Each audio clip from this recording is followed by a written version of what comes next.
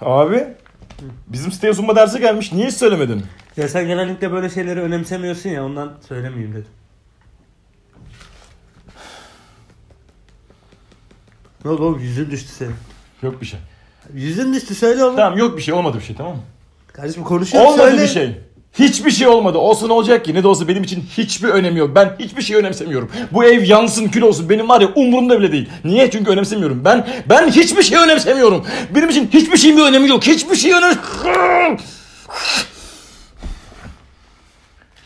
Sergen sen yine kızla kavga mı ettin?